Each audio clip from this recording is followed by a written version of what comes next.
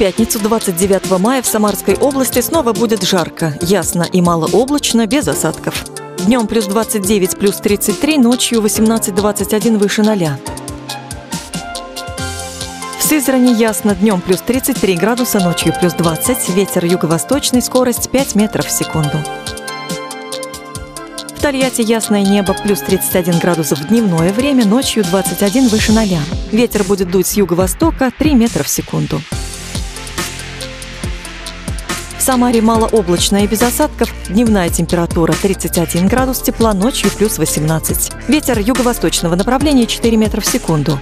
Атмосферное давление 749 миллиметров ртутного столба. Влажность воздуха 30%, геомагнитное поле слабо возмущенное.